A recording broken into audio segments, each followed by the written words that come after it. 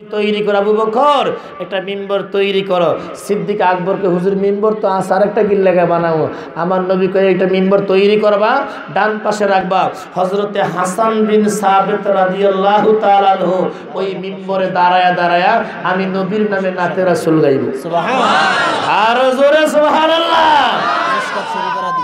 মেশকাত শরীফের হাদিস আপনাদের এলাকার সন্তান দলিল লাগলে এখান থেকে নিয়ে যাবেন। আমার বাবা আড়া ভাইয়ের বাবা নবীজির প্রশংসার উপরে কাশিদার উপরে। তৃতীয়ত আসুন আমার রসুলে পাকের প্রশংসা করেছে প্যালেস্টাইন যেখানে ভূমধ্য সাগর। বন্ধুর, আমার লোকটার নাম আল্লামা সরফুদ্দিন বসুরি, যিনি লিখেছেন কাশিদায় বোরদা। বর্তমানে আলিয়া মাদ্রাসার মধ্যে ডিগ্রিতে ফাজেলি কবিতাটা পড়ানো হয়। মোহাম্মদ সাইয়দুল কাউনাইনি ও সাকালাইন তিনি আশার নামাজ পড়ে কবিতা লিখতে লিখতে ঘুমিয়ে পড়লেন। ফজরের নামাজের আগে বলুন তো আর একটা নামাজের ওয়াক্ত হয়। কি নামাজ? তাহাজ্জুদ কি নামাজ? ফাতাহাজ্জাদ বিহি নাফিলাতাল লাক আসা আইয়াব আসাকা মাকামাম মাহমুদা। জোরে কর, সুবহানাল্লাহ। ফজর, জোহর, আসর, মাগরিব, এশা। পাঁচ ওয়াক্ত নামাজের ইঙ্গিত আয়াতে দেওয়া হয়েছে। কিন্তু তাহাজুত নামাজের নাম ডাইরেক্ট কোরআনে দেওয়া আছে। কারণ পৃথিবী জমি যত লোক অলি আল্লাহ হয়েছে, পাঁচ সত্য নামাজের পাশাপাশি বেশি বেশি করে তাহাজুত পড়েছে। কারণ ওই সময় আল্লাহ প্রথম আসমান এসে বান্দাবান্দিকে ডাকে। সরফুদ্দিন বসুরি হঠাৎ করে তাহাজ্জতের সময় দেখে অন্ধকার ঘর আলো দেখা যায়। কি দেখা যায়? সত্যি কসলায় খুললে কি ব্যাপার কি ভুল স্বপ্নে দেখি না, সত্যি দেখতেছি। চোখ খুলে দেখে দরজার সামনে একটা লোক দাঁড়িয়ে আছে, যেই লোকের চেহারা মুবারকের আলোতে অন্ধকার ঘর আলো।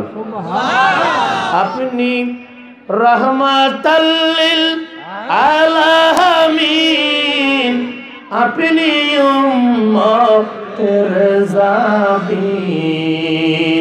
গুনাহগারের অতি আপন জন। আল্লাহর নবী, নূরের নবী গো। আপনি নবী আমার জীবনের জীবন। আল্লাহর নবী, সবাই নূরের নবী আপনি নবী আমার সর্বতির বছরই বাতের রোগী, প্যারালাইসিসের রোগী। তিনি বলেন, বিশ্বের মুসলমান, কেউ আমার পরিচয় করাইতে হয় না। আমি যখন দেখেছি ওই লোকের চেহারা মুবারকের আলোতে আমার ঘরটা আলো হয়ে গেছে। আমি বুঝতে বাকি নাই তিনি আমার মদিনার কামলেওয়ালা। আমি দাঁড়াবার জন্য চেষ্টা করলাম, দাঁড়াইতে পারি না বাতের রোগী। আমার দয়াল নবী সামনে আসলেন, আমার এই অসুস্থ শরীরের মধ্যে রহমতের হাত যখন লাগায় দেয়, আমি সরফুদ্দিন বসুরিন বাতের বিমার ভালো হয়ে গেছি। আমি দাঁড়াইয়া আমার নবীর কদম বুঝি করলাম সালাম দিলাম। আল্লাহ হাবিব ডেকে বলে সরফুদ্দিন তুমি আমি নবীর শানে এত সুন্দর নাতের সুল লিখেছ। সরফুদ্দিন রে, আমি নবী মদিনায় থাকতে পারলাম না। তোমাকে পুরস্কার দেওয়ার জন্য প্যালেস্টাইনে চলে আসলাম। আল্লাহর হাবিব রাহমাত আলামিন মাথার থেকে রুমাল মোবারক নামাইয়া সরফুদ্দিনকে ডেকে বলে, সরফুদ্দিন, মেয়ারাজের রাত্রে আমার আল্লাহ রুমালটা আমাকে দিয়েছিল। আমি নবী খুশি হইয়া এই জান্নাতের রুমালটা তোমাকে দিয়ে গেলাম। আজকের ফজরের নামাজ থেকে মসজিদের মধ্যে যাইয়া জামাতের সাথে নামাজ আদায় করবা। জামাতে নামাজ পড়া সুন্নতে মোয়াক্কাদা একটাই মাত্র উদ্দেশ্য মনের ভিতরে রাখতে হবে, সেটা হলো ওই জামাতের মধ্যে যদি আমার আল্লাহর দরবারে কোনো ব্যক্তির সাজদা কবুল হয়ে যায়, ওই লোকটার সাজদার বদৌলতে আমার আল্লাহ ফৌরা জামাটাকে কবুল করে না বাবার, আমার বন্ধুরা, আমার সর্বদিন বছর গড়ে তাহাজ্জুদ পড়িয়া ফজরের নামাজ পড়ার জন্য মসজিদের মধ্যে গেলেন। এবার ইমাম যখন নামাজ পড়ায়, সালাম ফিরায় ডাইনে এবং বামে, মুসল্লিদের দিকে ফিরে বসেছে। ওজিফা কালাম পড়বে ইমাম থেকে শুরু করে মুসল্লি পর্যন্ত প্রত্যেকের একটাই প্রশ্ন, সরফুদ্দিন, তুমি বাতের রুগী, হাঁটতে পারো না, চলতে পারো না, কোন হেকিমের চিকিৎসা তুমি গ্রহণ করালা, হঠাৎ করে সুস্থ হয়ে গেলা। ও সরফুদ্দিন, জানতে চাই, এত সুন্দর আতরের গ্রাম তোমার শরীরে পাওয়া যায়, কোন দোকান থেকে আতর খরিদ করেছ? সরফুদ্দিন রে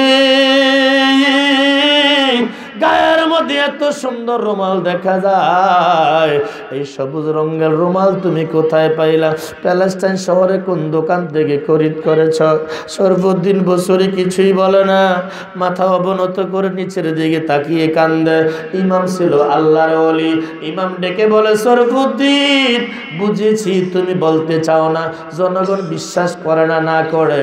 তবে আমি তোমাকে জানাই দেই, যেই নবী তোমার ঘরের মধ্যে গিয়েছিল, যেই নবী তোমাকে রুমাল মুবারক উপহার দিয়েছিল। তোমার হুজরা শরীফে যাওয়ার আগে আমি গোলামের সাথে দেখা করে গেছি। আরও জোরে কর আল্লাহু আকবার। চিল্লায় কোন ইয়া রাসূলুল্লাহ। নাতে রসুল গাইলে লেখলে আমার নবী খুশি না বেজার? জোরে কোন খুশি না বেজার? আসুন বন্ধুরা আমার আলোচনার দিকে চলে যাই। নুহু নবী বলে আল্লাহ নৌকা তো জীবনে দেখি না। আমার আল্লাহ বলে, টেনশন করেন না। নৌকা তৈরি করার জন্য ক্যাটালগ সহ মিস্ত্রি পাঠাইতেছি এটা বাংলাদেশের দৌলতপুরের মিস্ত্রি না। কাম করতে আইলে দুই ঘণ্টা খালি আতুরা বাড়ায় দাঁড়ায়। ঠিক বাইক কি করে? করে কি? দুই ঘণ্টা খালি মালিকের লাগে। এক ঘণ্টা, দেড় ঘণ্টা বাড়ায় দাঁড় করে। ঠিক নেই? কথা পছন্দ কারণ কথার মধ্যে মধু নাই। হায় হায়! বাবাকে জিজ্ঞেস করলাম, বাবা, আমার কথায় মানুষ রাগ করে, ঘটনা কি? বাবা, একই পুত্রে। যখন তোর জন্ম দেশের মধ্যে অভাব ছিল, ভাত খাইতে ভাত পাই না, মধু খাওয়া মুকুত্তিকা উচিত কথা কইলে মায় পছন্দ করবনি কথা কর না কাম, জোরে বলেন। আমি কিন্তু জবানের ওয়াদা আগিয়ে নিয়েছি, কথা বলেন। জোরে বলেন না কেন? হায় হায় নবীকে আল্লাহ নৌকা কেমন করে বানাবো? আল্লাহ বলে আলাইহিস সালামকে পাঠাচ্ছি, জিব্রাইল। নৌকা তৈরি করবে। আপনি নুহু নবী জোগালে দিবেন, হেল্পারের কাজ করবেন। সুবহানাল্লাহ বলেন। বন্ধুরা আমার, ওয়াজের মধ্যে ওলামায় কেরাম আলোচনা করে, কয় এক লক্ষ চব্বিশ হাজার পয়গাম্বর, আবার কয় মতান্তরে দুই লাখ চব্বিশ হাজার। ঠিক নেই সত্য করে এখন এইভাবে বলে কি বলে না? আচ্ছা বলুন তো, ভুল হইলে কি এক লাখে ভুল হইবনি কথা কন না কারণে আমি আপনাদের চায়ের দাওয়াত দিলাম, পানের দাওয়াত দিলাম। হুজুরা জীবনে পাবলিকে খাওয়ায় না খাওয়ায়নি পাবলিকের থেকে হুজুরা খায়। আজকে আমি চা খাওয়ার দাওয়াত দিলাম, তো একটা কথা কইেন ভুল হইলে কি এক লাখে ভুল হইবনি না? তো কথা কন? না তাফসিরে কানজুল ইমান আলা হযরত আহমদ রিজা খান। ফাজলে বারলবি লিখতেছে পৃথিবীর জমিনে প্রেরিত নবী রসুলের সংখ্যা দুই লক্ষ চব্বিশ হাজার। তিনি বরাত দিয়েছেন এই পৃথিবীর প্রথম তাফসির। আমার রসুল বলেছে রসুলের পাকের চাষা হজরতে আব্বাস রাজুল লিখতেছেন, তাফসিরটা হলো তাফসিরে আব্বাসিয়া কোরআনের ব্যাখ্যা করেছেন কোরআন দিয়া। আরও জোরে কন্যা সুবহানাল্লাহ। পৃথিবীর প্রথম তাফসির কোরআনের ব্যাখ্যা কোরআন দিয়া, দ্বিতীয় তাফসির কোরআনের ব্যাখ্যা করেছেন আমার নবীর হাদিস দিয়া, তৃতীয় তাফসির কোরআনের ব্যাখ্যা করেছেন অ্যারাবিক টু অ্যারাবি, তারপরে উর্দু, তারপরে পার্সি তারপরে বিভিন্ন ভাষায়। একবার কন্যা সুহার আমার বন্ধুরা এই পৃথিবীর জমিনে নবী রসুলের সংখ্যা দুই লক্ষ চব্বিশ হাজার।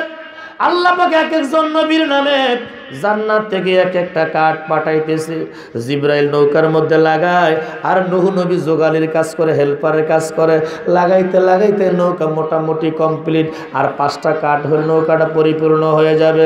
দুই মাথার মধ্যে দুটো মোটা অংশ লাগে। নাম কি? পাশে তো নদী দেখা যায়। মাটি কি বলা হয়? মাঝখানে একটা মোটা কাঠ লাগাটার নাম কি? ও বন্ধু, বরাবর সোজা মোটা একটা কাঠ ব্যবহার করা হয়। যার মাঝে বাদাম টাঙায়। বা বা মাটি পানিতে বাতাসের মধ্যে চলে, এটার নাম কি? মস্তুল মাঝি দিক নিদর্শন ঠিক রাখার জন্য পিছনে ব্যবহার করে। আরও সকলে বলেন, বইটার নাম কি আপনারা জানেন না? যাদের জবান আছে, সবার কাছে আমার আন্তরিক দাবি আছে, আওয়াজ দিয়ে বলেন তো কি নাম? বন্ধু, জিব্রাইল আর পাঁচটা কাঠ হইলে নৌকা সমাপ্তি হয়ে যাবে। আল্লাহ বলে, জিব্রাইল, নুহ নবীকে বলো, আমার কাছে আর কোনো কাঠ নাই। তবে হ্যাঁ নীল নদের মধ্যে বিশাল বড় একটা গাছ, জোয়ারে বেসে যাচ্ছে, গাছটাকে আইনা পাঁচটা টুকরা কইরা নৌকার মধ্যে লাগাই দেন। শর্ত হইল নৌকার মধ্যে লাগাইবার আগে পাঁচটা নাম লেখা লাগাই দিয়েন। আমি আল্লাহর গজব দুনিয়াতে চলবে, বন্যা চলবে সাইক্লোন চলবে। এই পাঁচটা নাম নুহ নবীর নৌকার মধ্যে থাকলে নুহ নবীর নৌকার কোনো ক্ষতি হবে না। এই পৃথিবীর প্রথম মানব, প্রথম নবী ষাট গজ মানে একশো বিশ তিনি মুসলমানের বাবা, তিনি হিন্দুর বাবা, খ্রিস্টানের বাবা, বৌদ্ধের বাবা, ইহুদির বাবা, নাসারার বাবা, সমস্ত মানুষের বাবা, তার নাম আদম নবী, ঠিক কিনা? এই পৃথিবীর দুই নম্বর লম্বা লোক, একশো দশ হাত। লোকটার নাম হলো উস, নুহু নবীর উম্মত। কোন নবীর উম্মত? কয় হাত লম্বা?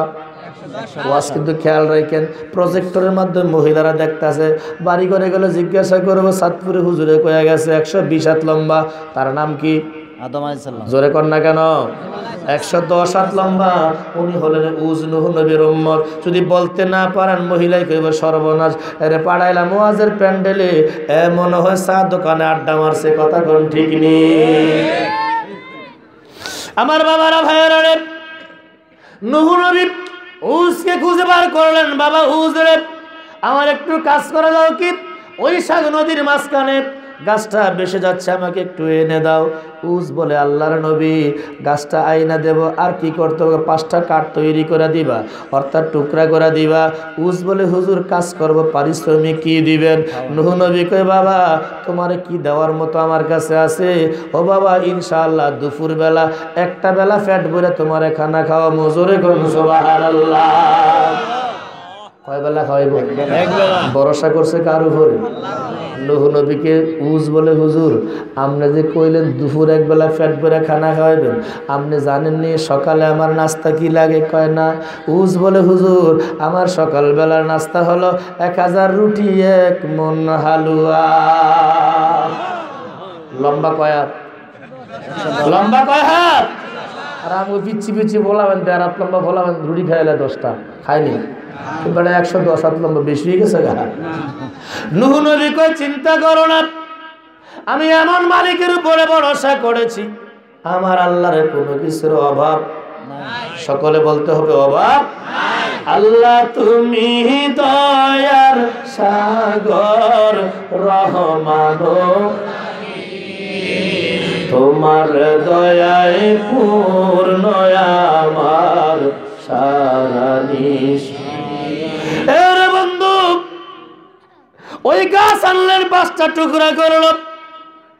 নুহ নবীকে আল্লাহ, নৌকাতে লাগাবো, কি নাম লাগাবো আমার আল্লাহ বলে এক নাম্বার লেখেন আহম্মদ, কি নাম?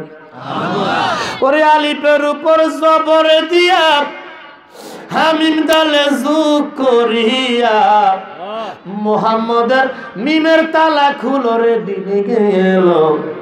লাইলাহা ইল্লাল্লাহ জিকির বলরে লাইলাহা ইল্লাল্লাহ জিকির বলরে দিনে গেল।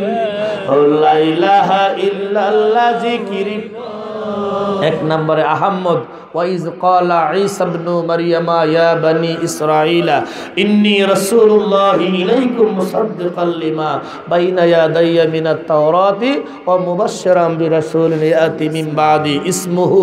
আহমদ সজাগ থাকলে জোরে কোন সাল্লাল্লাহু আলাইহি আমার নবীর নাম তৌরতে আহম্মদ জবুর আহম্মদ ইঞ্জিল আহম্মদ কোরআনে আহম্মদ প্রকাশ পেয়েছে মোহাম্মদ কথাগর ঠিক কিনা?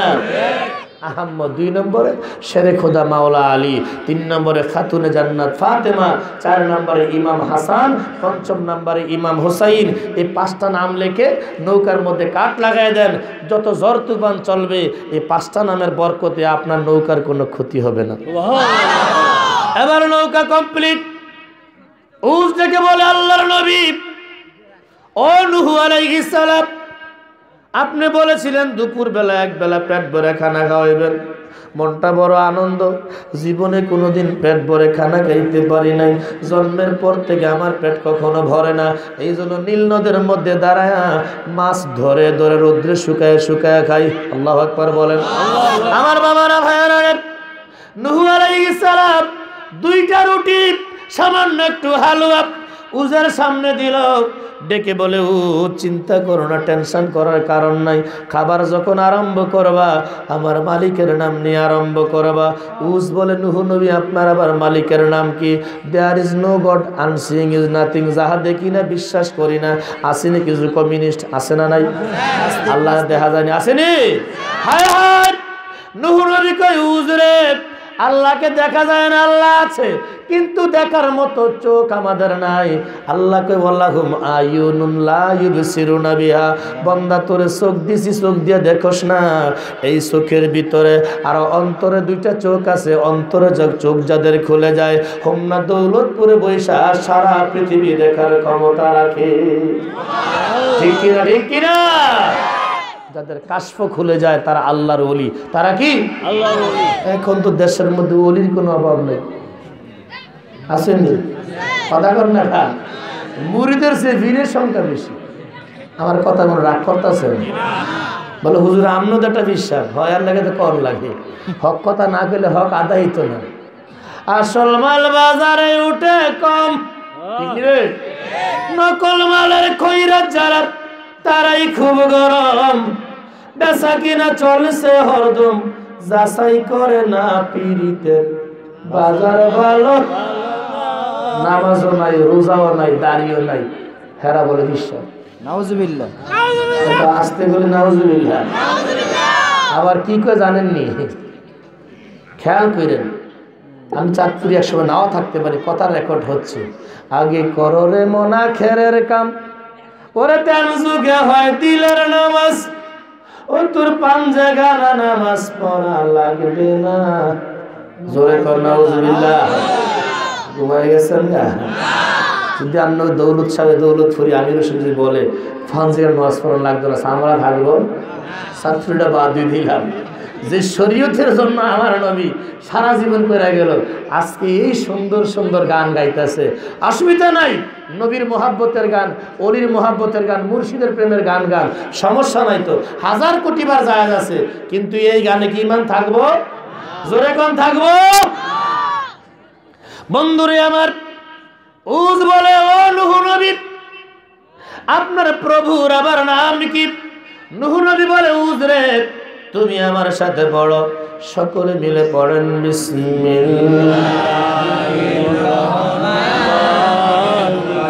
মাত্র এক তৃতীয়াংশ লোকের আওয়াজ পাইলেও সবাই কিন্তু বলে না, আরও জোরে করুন বিসমিল্লাহির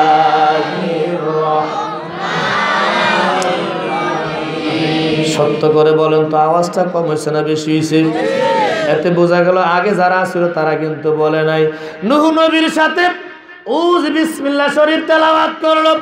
একটা লোকমা রুটি হালুয়া লাগাইয়া মুখের ভিতরে দিলেন চিবাইতে আরম্ভ করল। পেটের ভিতরে গেল।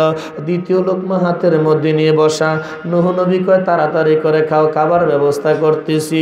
উজ ডেকে বলে, নুহু নবী, আমি তো মুসলমান হই নাই। কাবা ঘরের মধ্যে যতগুলো মূর্তি আছে, লাতের কসম করে বলি, মানতের কসম করে বলি, উজ্জারের কসম করে বলি, হোবল সবচেয়ে বড় মূর্তি, হোবলের কসম করে বলি। এ নুহু নবী কি মন্ত্র আমারে পড়াইলেন? কি কোন প্রভুর নাম আমারে পড়াইলেন? একটা লোকমার রুটি আমার পেটের ভিতরে গেল। এক লোকমার বিনিময়ে পেটটা কানায় কানায় বড়ে গেছে। দ্বিতীয় লোকমা দেওয়ার কোনো জায়গা না সেই বিসমিল্লার মালিক এখন আছে না নেই? জোরে কোন আছে না নাই? যেই কোনো ভালো কাজের আগে বিসমিল্লা কাজটা সমাপ্তি করে বলতে হবে কি? ছোট্ট একটা আমল পারবেন নি কথা বলেন না কেন? পারবেন ইনশাল্লাহ ইনশাল্লাহ চেষ্টা করবেন সামনে আলোচনার দিকে যাই সমস্যা আছে কোনো। আমার বাবারা ভাইয়ারা আমি গুনাগারের সাথে মোহাব্বত লাগাইয়া আল্লাহর কালামের সে নমলের আয়াতটা পড়ুন।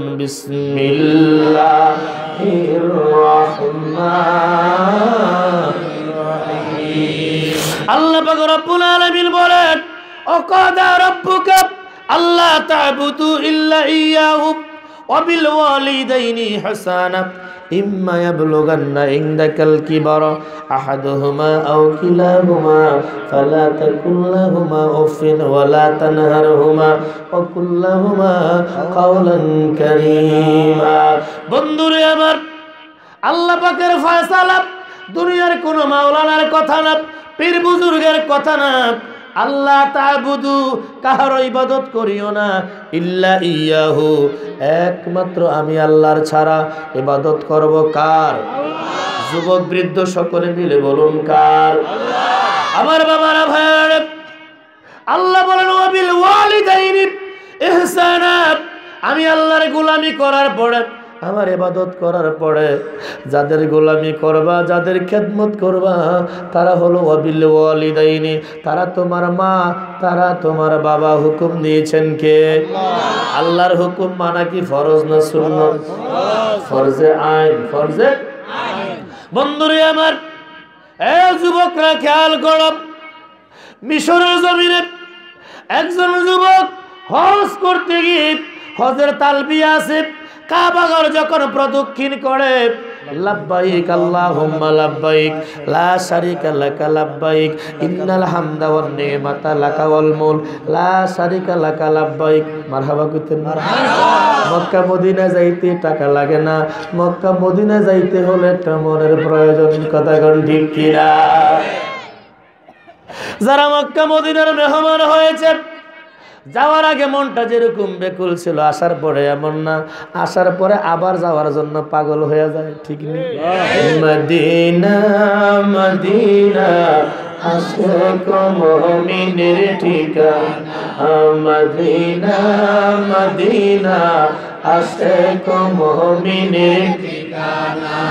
দিদার চেয়ে কাঁদো তোমরা, দিদার নবীর দিওয়ানা, মদিনা মদিনা, আশেক মুমিনের ঠিকানা। মদিনা মদিনা জালালুদ্দিন সুয়ুতি পঁচাত্তর বার দেখল নবীজি। বাড়াবো কিন্তু জালালুদ্দিন সুয়ুতি পঁচাত্তর বার দেখল নবী। বার দেখিয়াও তবু এত বার দেখিয়াও ও তৃপ্তি তাগর মিটিল না মদিনা। আসে কমিনের মদিনা মদিনা আসে কমিনের দিদার চেয়ে কাঁদো তোমরা, দিদার আরে হও না নবীর দিওয়ানা, মদিনা। আসে কমিনের ঠিকানা, মদিনা। আমার বন্ধুরা বলতেছিলাম, ওই যুবক, তালবিয়া ছেড়ে দিয়ে কাবাগর তাওয়াফ করে আর দুরুজ শরীফ পড়ে। আল্লাহর ওলি হযরতে শিবলি রহমতুল্লাহ তাওয়াবের কাজ সমাপ্তি করে পাশে দাঁড়িয়ে আসতেন তিনি মনে মনে ভাবলেন এই যুবক মনে হয় তালবিয়া ভুলে গেছে। তালবিয়া ভুলে গেছে। তিনি দাঁড়ায় রইলেন। এই যুবক যখন তাওয়াফের কাজ শেষ করল, আল্লাহর অলি শিবলি রহমতুল্লাহ ডেকে বলে, ও যুবক, এইদিকে আসো। তুমি মনে হয় বাবা, তাওয়াফ করা তালবিয়া ভুলে গেছ। তা না হলে তালবিয়া বাদ দিয়ে কেন দুরুজ শরীফ পড়তেছ? এই যুবক ডেকে বলে, কে আপনি? কে? আমার নাম হজরত শিবলি। যুবক ডেকে বলে, আল্লাহর অলি আমি তালবিয়া ভুলি নাই। ইচ্ছা করে তালবিয়া বাদ দিয়া নবীর নামে দুরুজ শরীফ পড়তেছি। আল্লাহর অলি ডেকে বলে, কারণ কি? যুবক বলে, আল্লাহর অলি, আমি আমার ক্ষুদ্র জীবনে হিসাব মিলাইলাম। এই বছর একাওয়াজ করার জন্য আসি নাই। একটা কাফেলার সাথে আমি আমার বাবাকে নিয়ে হজ করতে রওনা করেছি। মিশর এবং মক্কার মাঝখানে আসার পরে মরুভূমিতে হঠাৎ করে আমার আব্বা অসুস্থ হয়ে যায়। কাফেলার লোকেরা বলল, তুমি তোমার বাবাকে নিয়ে পড়ে আসো, আমরা চলে যাই। তা না হলে হজের সময় চলে যাবে। আমার বাবারা ভাইয়ারা রে, যুবক ডেকে বলে, আল্লাহর বলি আমি আমার বাবার সাথে অবস্থান করলাম। আমার বাবা অসুস্থ। দিনের বেলা চেহার সেবা শুশ্রূষা করলাম রাত্রে আসার নামাজের পরে আমি আমার আব্বাকে নিয়ে শুয়ে পড়ি। হঠাৎ করে আব্বার গায়ের উপরে আমার হাত যখন পড়ল আমি অনুভব করলাম আমার বাবার গায়ের শরীরের তাপমাত্রা নাই শীতল হয়ে গেছে। তাবুর মধ্যে বাতি জ্বালায় দেখলাম বাবার প্রাণ পাখি নাই দুনিয়া থেকে চলে গেছে। ইন্না লিল্লাহি মানুষ মরে দোয়া করে না? আপনার এলাকায় মানুষ মরেন নদী এলাকা আজরাড়াইয়ে এলাকা আজরাড়াইয়ে একদিন সাদা কাপড় পহরাইয়া ওরে মুর্দা খাটে কবরেতে করবে রে দাফন অবুজমন অবুজমন রে দম ফোরাইলে দেখবি কে আপন। পাগল মন পাগল মন রে দম ফোরাইলে আপন। একদিন সাদা কাপড় পরাই আমর খাটের সো বলেন সাদা কাপড় খাটের সো কবরেতে করবে দাফন। অবুজমান অবুজমান রে দম ফোরাইলে যারা তোমার আপন, তারা তোমায় পরাবে কাফন, তাহারাই তোমায় করবে কোন? ঠিক কিনা? যারা তোমার আপন, ও তারা তোমায় পরাবে ও তাহারাই তোমায় করবে রে একদিন সাদা কাপড় পরাই মুর্দা খাটে একদিন সাদা কাপড় মুর্দা কাটের কবরেতে করবে দাফন। বুঝমান অবুঝমান রে দম ভোরাইলে বুঝবে কে আপন। বন্ধুরে আমার, যুবক বলে আল্লাহর বলি আমি তাবুর মধ্যে বাতি জ্বালাইলাম। জ্বালায়া দেখি আমার বাবার দেহ পিঞ্জর থেকে প্রাণ পাখি চলে গেছে। এই মরুভূমির মধ্যে আমি একা। এই দেশের যত বীর পালোয়ান হোক না কেন রাত্র গভীরে যদি কোনো কবরস্থানের কিনারা দেওয়া যায় একটু হলেও মনের মধ্যে ভয় লাগে ঠিক কিনা? বাবারে কার জন্য বাড়ি গাড়ি করেছ? এই জমিদারি ব্যাংক ব্যালেন্স কার জন্য করেছ?